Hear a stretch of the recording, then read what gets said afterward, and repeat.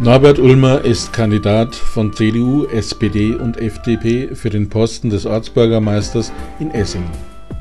Er sagt von sich, dass ein Schluss, sich zur Wahl des Bürgermeisters zu stellen, eine Herzensangelegenheit sei. Er bezeichnet sich selbst als Neuling in der Kommunalpolitik und sei durch seine Entscheidung ins kalte Wasser geworfen worden.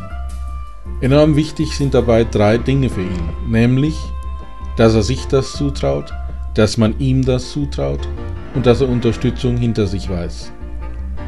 Norbert Ulmer wurde am 9. Dezember 1954 geboren, ist verheiratet und hat zwei Kinder, ist aktuell einfacher, bald zweifacher Opa. Von Beruf ist er selbstständiger Grafiker. Seine Hobbys sind Fußball, Skifahren, Malerei, Kochen, Gartenarbeit und mit offenen Augen und Ohren die Umwelt erleben. Heute steht Norbert Ulmer uns einem kurzen Interview zur Verfügung. Herr Ulmer, Sie sagen, die Kandidatur wurde an Sie herangetragen. Wer ist denn da aktiv geworden? Wer hat denn da ein bisschen geschoben? Oder ja, musste man das, überhaupt schieben? Ähm, ja, man musste auf jeden Fall schieben, ja. Es war ein Samstagnachmittag, den ich fest, äh, als festen Termin, als immer wiederkehrender Termin bei mir äh, registriert und auch notiert habe. Ähm, Erstkontakt war durch einen Doppler. Ähm, der Herr Doppler hat äh, mich angesprochen, hat mich informiert, auch äh, informiert darüber, dass er äh, quasi nicht alleine kommt. Er hat ähm, oder ist auch im Auftrag äh, der politischen Gruppierungen von FDP, CDU äh, unterwegs und hat mich eigentlich direkt angesprochen, ähm, ob ich mir vorstellen kann, ähm, als Kandidat zur anstehenden Kommunalwahl am 25. Mai anzutreten. War für mich eine Überraschung, auch eine Ehre. Das habe ich eigentlich auch weitergegeben und ähm, die Ansprache musste natürlich zuerst mal musste ich zuerst mal sinken lassen und habe mir dann äh, Bedenkzeit erbeten und es kam dann zu weiteren Treffen. Ich habe mir dann Informationen eingeholt, habe auch äh, Treffen mit, gemeinsame Treffen mit den politischen Gruppierungen und mit Herrn Doppler gehabt. Und man hat sich wirklich äh, um mich gekümmert und das hat mich äh, imponiert, oder es hat mir imponiert. Und äh, ja, dann äh, irgendwann nach eigentlich nicht allzu langer Zeit ist mein Entschluss ähm, gereift und ich habe Ja gesagt. Was hat denn Ihre Frau dazu gesagt? Ähm, war natürlich ein Thema, das nicht nur ich alleine entschieden habe, ähm, war eigentlich, ähm, meine Frau kennt mich, ich, sie weiß ganz genau, dass ich eigentlich ein Macher, ein aktiver Mensch bin, der auch nach meiner äh, beruflichen Zeit irgendwo ein bisschen aktiv sein möchte. Ich werde ja jetzt 60 Jahre alt, ich muss also auch da in diese Richtung gehen, denken und wir haben das eigentlich gemeinsam äh, beschlossen und äh, gemeinsam getragen. Ja. Herr Ulmer, Sie hatten ja Kontakt äh, zu einzelnen Parteien und äh, das Ihren Entschluss sicherlich auch äh, beflügelt haben mag. Gab es denn auch äh, einen Kontakt dann mit allen Parteien zusammen oder war das gleich sogar am Anfang schon? Nein, war nicht direkt am Anfang. Ähm, Herr Doppler war derjenige, der mich äh, als ähm, Alleinperson angesprochen hat.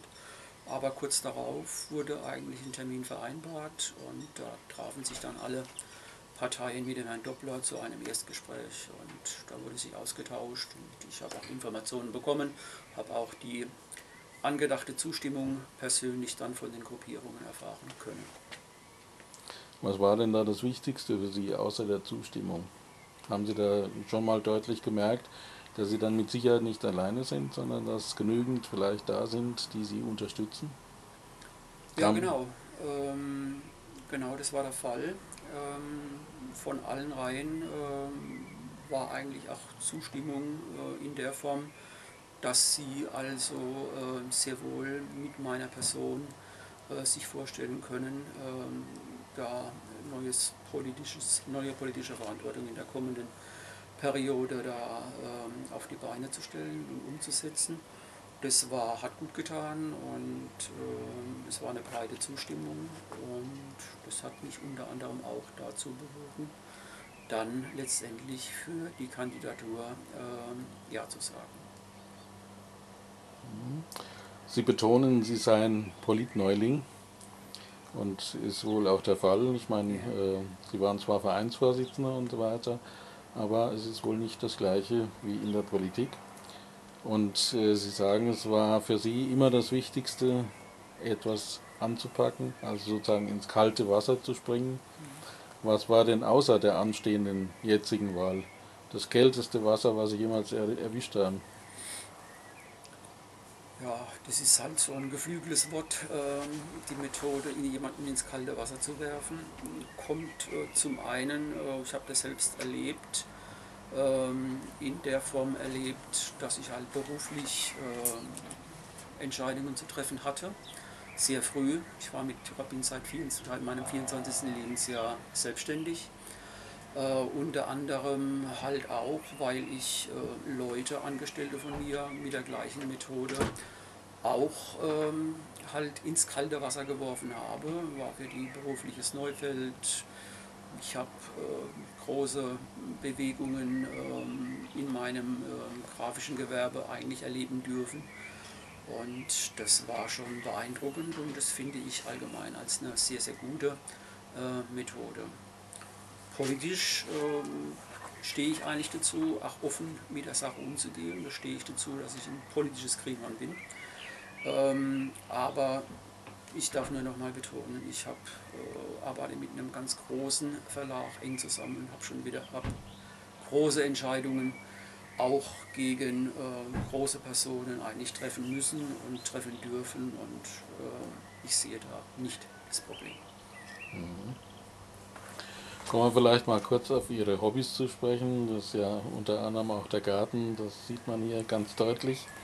Danke. Äh, Skifahren, Fußball, da ja. waren Sie auch sehr aktiv. Ja. Und, äh, aber eines Ihrer Hobbys äh, hat mich ganz besonders angesprochen, hat, das hat mich regelrecht fasziniert. Mhm. Sie sagen, Sie gehen mit offenen Augen und Ohren durch Ihre Umwelt. Und wenn Sie so mit Ihren offenen Augen und Ohren, also mit Ihren Sinnesorganen durch Essingen gehen, was fällt Ihnen denn da auf? Ja, äh, Essingen hat natürlich einiges zu bieten. Ähm, wir liegen direkt am Pfälzerwald. Wir sind praktisch so ein bisschen wie der, so der zweit-, drittletzte Ort, bevor es richtig in den Wald geht. Ähm, wir haben hier auch ähm, große, breite Flur, die, äh, wo sich einiges äh, geändert und bewegt äh, hat. Wir haben ähm, draußen äh, im Sergraben auch äh, richtig Urwuchs. Ähm, wenn man da halt mit offenen Augen durch ähm, diese Gegend geht, dann sieht man natürlich schon ja, Raritäten ähm, wie ähm, seltene oder seltenere äh, Vögel. Man beobachtet äh, quakende Frösche, man sieht Kröten, also es ist einiges Getier und auch einige Pflanzen bei uns hier in Isingen unterwegs und das hat mich immer angesprochen. Äh, ich komme auch aus einer Familie, äh, wo Jagd äh, betrieben wurde, habe also auch eine, eine Bekanntheit, eine Verwandtschaft mit Tieren und das hat mich schon immer angesprochen. Mhm. Ja, nehmen wir mal an, Sie werden gewählt. Was wäre denn da Ihre erste Amtshandlung? Ähm, ja, meine erste Amtshandlung ist ganz einfach mal ähm, meine Position ähm, zu dokumentieren. Ähm, ich gehe natürlich äh, in große Fußstapfen, Herr Frech, Herr Doppler, zusammen über 40 Jahre oder vier Jahrzehnte ähm, politische Tätigkeit. Ähm, das verdient Respekt. Ich denke aber, dass ich äh, auch aus einer Position äh, Politik vielleicht auch anders sehe und auch anders äh, umsetze, weil ich ganz einfach äh, die Sache von total anderen Gegebenheiten ausgehen kann. Ich denke, äh, es gibt mit Sicherheit einiges zu tun hier in Isingen. Verkehrspolitisch, äh, ich beobachte sehr viele Leute, die, ähm, ja, die mit Problemen in Isingen rein und wieder rausfahren. Ähm, das ist mit Sicherheit ein großer Punkt, äh, bei dem es gilt anzusetzen. Ähm, natürlich liegen mir ähm, unsere Kinder, auch die Senioren im Herzen. Ich werde da äh, mit Sicherheit Politik betreiben, die, wie ich eigentlich es auch auf äh, meine Aussage äh, getätigt hab, habe, äh, wo vorrangig dieses Miteinander und dieses Gemeinsam ähm, umgelegt werden kann auf Projekte, die ganz einfach äh, allgemeiner Natur sind. Und die gilt es vielleicht in Essingen noch ein bisschen zu forcieren. Herr Ulmer, ich danke Ihnen für das Gespräch. Danke ebenfalls.